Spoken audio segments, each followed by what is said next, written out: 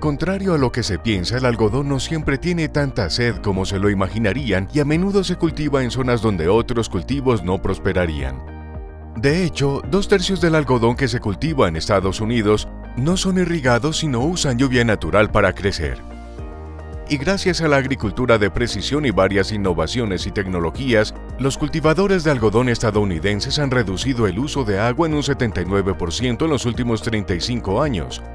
En la actualidad, cada vez más cultivadores estadounidenses usan tecnología de detección de agua para monitorear y mapear dónde necesitan agua sus campos. Muchos utilizan tecnología de programación del riego y riego por goteo para asegurarse de que el agua penetre en el suelo.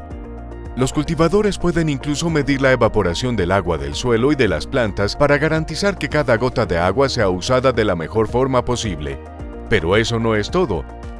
Estamos comprometidos a reducir el uso de agua en un 18% adicional para 2025 y el US Garden Trust Protocol les brinda a sus miembros datos sobre la huella hídrica de sus granjas para mejorar su desempeño. Para marcas y minoristas, esto significa que tendrán acceso a datos concretos que les ayudarán a demostrar el avance hacia sus objetivos de sostenibilidad y el uso del agua. Es nuestro nuevo compromiso para un nuevo día. Confía en un futuro con algodón más inteligente.